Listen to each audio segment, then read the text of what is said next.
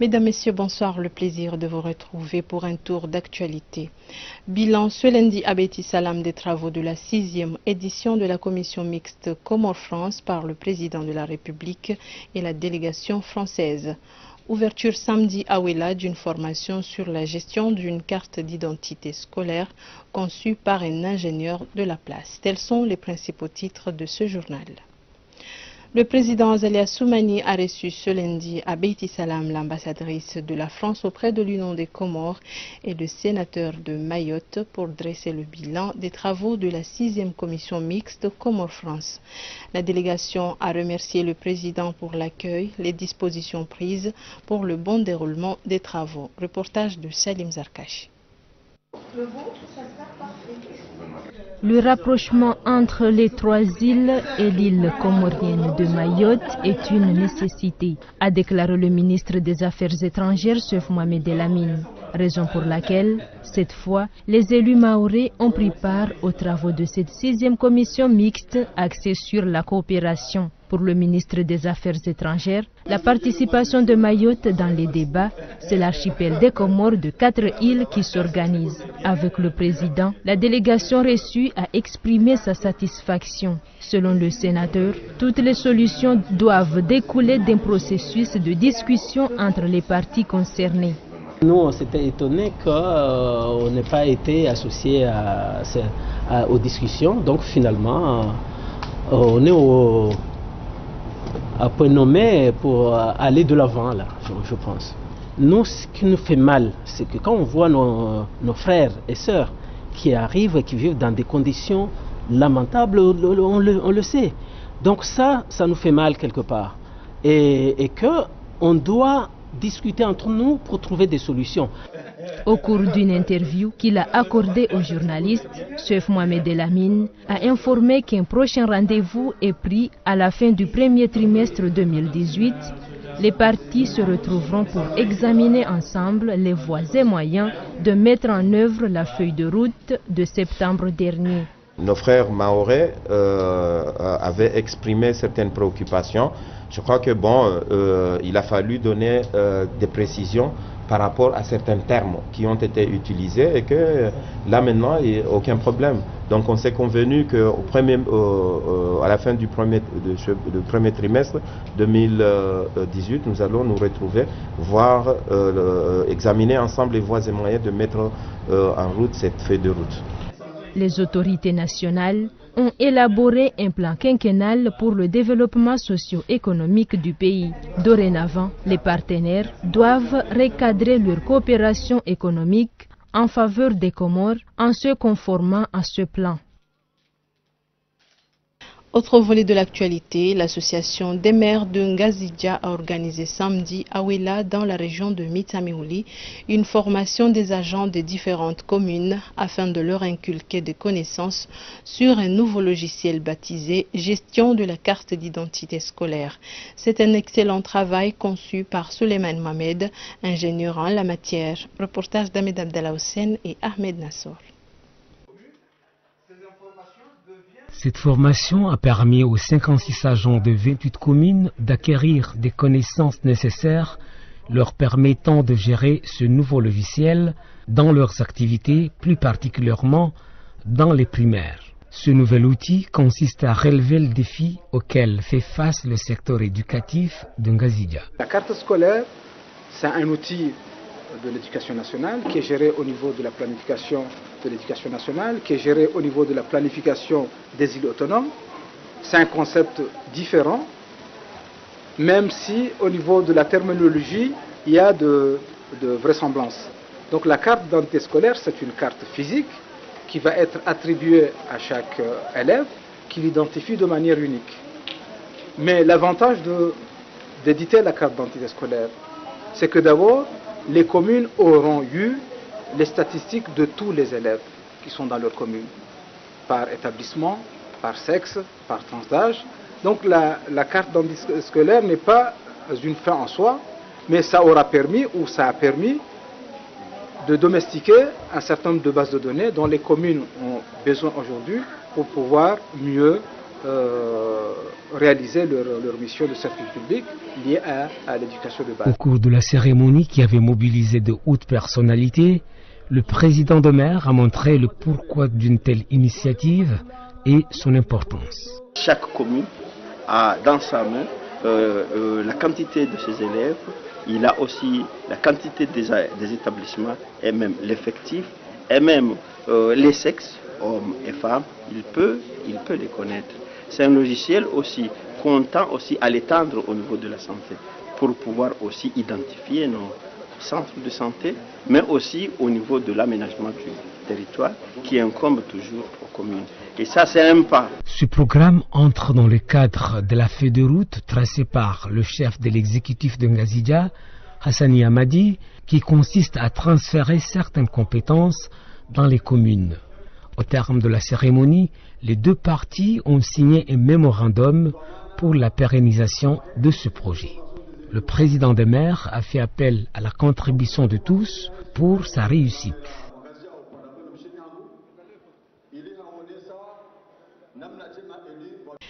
La ville de Mbeni a abrité ce dimanche un séminaire qui avait regroupé des représentants du commissariat aux finances de Ngazidja dans l'objectif d'améliorer les performances en matière de recettes. Reportage de Kassim Suleiman et Mustafa Boubakar, récit de Sitinuru Saïd Halidi. Comment atteindre un objectif de recette à 80% c'est le but de cet atelier organisé par le commissariat des finances de Ngazidja. Tous les directeurs des administrations financières insulaires et les chefs de service y participent pour élaborer un document plan d'action sur l'augmentation des recettes. Selon le commissaire des finances Ibrahim Imidi, les contribuables ne sont pas seulement à la capitale. Les agents de la direction régionale des impôts doivent aussi se rendre dans les milieux ruraux pour percevoir l'impôt. L'île connaît une masse salariale exorbitante, difficile à recouvrer, raison pour laquelle toutes les dispositions doivent être prises pour réduire ce déficit. Il faut essayer d'augmenter les recettes de l'État ça, c'est parmi les objectifs. la masse salariale actuellement la, masse salariale, on est à 485 millions. 485 millions pour le mois de novembre. Le versement de l'Union, c'était à 468. Il a fallu 16 millions sur les recettes pour augmenter, pour augmenter, pour atteindre le paiement. J'étais obligé, moi avec le TPG, de fournir tous les efforts.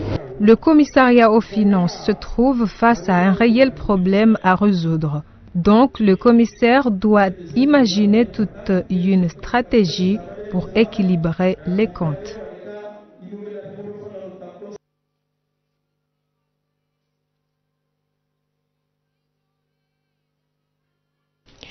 La Direction générale de l'urbanisme, en collaboration avec la mairie de Moroni, a d'ores et déjà débuté les travaux de réhabilitation des routes et de lutte contre la construction sauvage des maisons et de la mise en place des conteneurs pour des activités commerciales.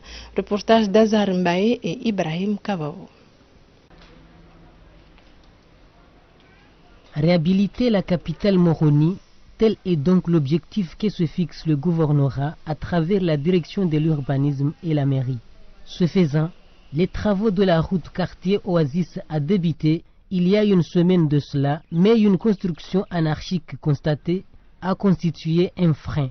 Les propriétaires des maisons en question et conteneurs se sont vus remettre par la mairie des lettres de mise en demeure pour un délai d'un mois.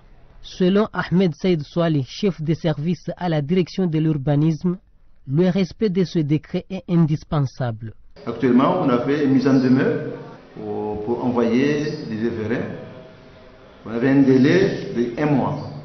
Hein, euh, depuis aujourd'hui, que c'est la, la a, mis à sa signature, jusqu'à le, 15, 15 janvier.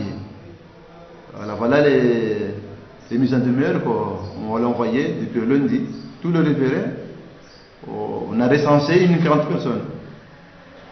Voilà, on, souhaite que euh, les gens qui ont construit euh, respectent le normes de l'urbanisme. Il y a un code d'urbanisme hein, qui stipule qu'ils n'ont pas respecté les normes d'urbanisme, on va, on va le démolir.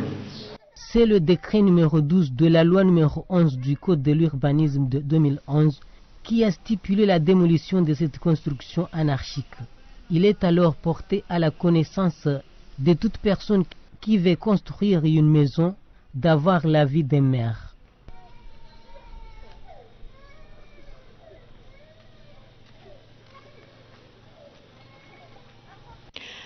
Autre volet de l'actualité, les examens du premier trimestre de cette rentrée scolaire 2017-2018 ont débuté ce lundi dans les écoles publiques et privées. À en croire les responsables, tout se déroule dans de meilleures conditions. Le portage d'Abdallah Omar et Mlemengu Yassine, récit de Sofiati Ibrahim.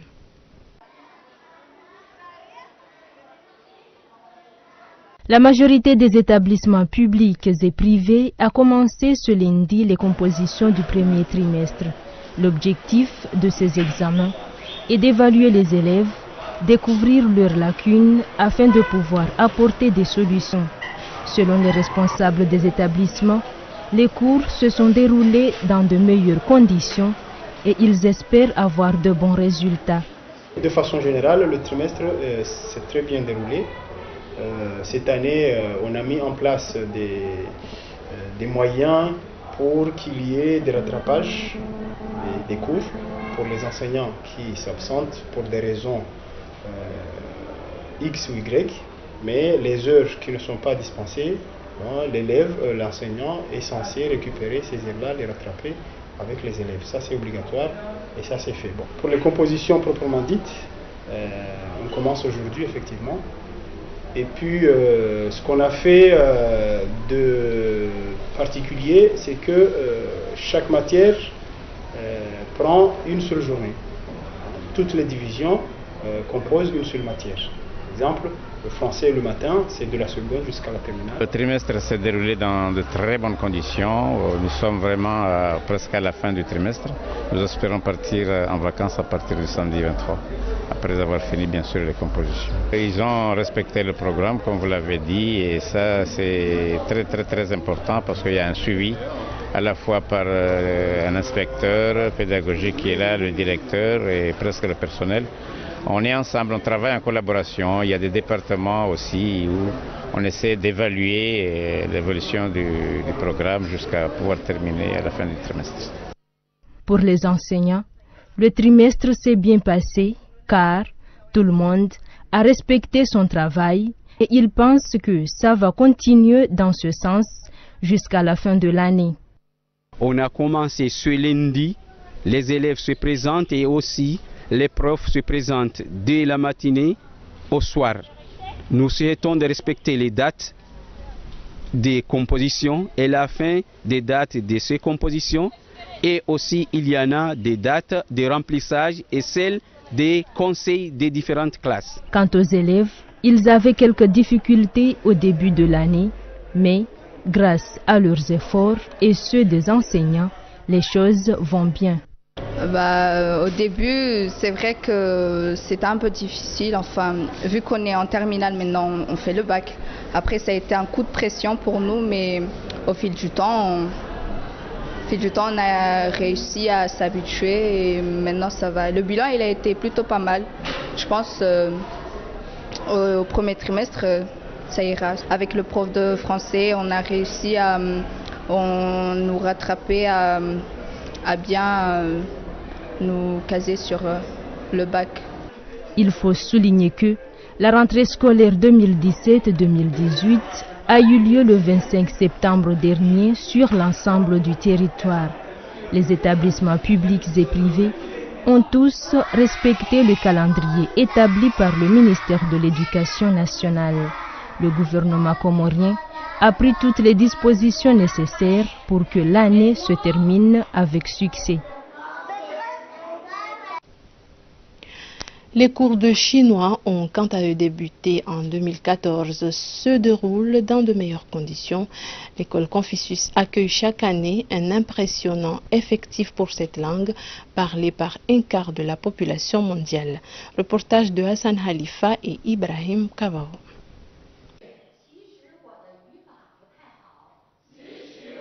L'apprentissage de la langue chinoise enregistre des résultats satisfaisants aux Comores. Depuis l'ouverture de Confucius en 2014, de nombreuses personnes se sont inscrites pour apprendre cette langue parlée par le un quart de la population mondiale. Nombreux sont les sortants de l'Université des Comores qui fréquentent cette école. J'ai décidé d'apprendre le chinois parce que je vois l'avenir de la langue chinoise ici aux Comores, parce qu'il y a plein de, sociétés chinoises qui ont ouvert ici. Euh, je me suis dit que tiens, voilà, c'est une opportunité pour moi pour pouvoir m'intégrer dans la société ou dans, dans, toute autre chose. J'ai déjà vu les, les, euh, avantages de la langue chinoise. Oui, euh, parce que j'ai pu faire un voyage pour aller visiter la Chine gratuitement. rien que mon courage d'apprendre la langue chinoise on m'a offert un billet pour aller visiter la Chine. Franchement, c'est déjà trop. Euh, n'en parlons plus. Maintenant, je travaille à l'ambassade de Chine comme étant un, secrétaire. Euh, là, je, trouve déjà les, avantages d'apprendre la, la langue chinoise. Chaque année, les étudiants du dit établissement organisent des activités relatives à la culture comorienne. La langue utilisée, c'est le chinois, histoire d'inciter les jeunes à s'initier. On a des activités à faire parce que l'année dernière, on a organisé certaines activités comme euh, une journée culturelle. Et que cette journée a comme objectif de montrer euh, à nos profs chinoises euh, la culture comorienne. Et on espère que cette année, le 31 décembre, on essaie organiser une journée, une journée porte ouverte, à faire une sensibilisation au niveau des autres pour venir s'inscrire et apprendre beaucoup plus la langue chinoise. Et on espère que l'année prochaine aussi, euh, ça sera mois de mai et organiser la deuxième édition de la journée culturelle. À titre de rappel, l'inscription est gratuite et il existe six niveaux, dont certains pour trois ans.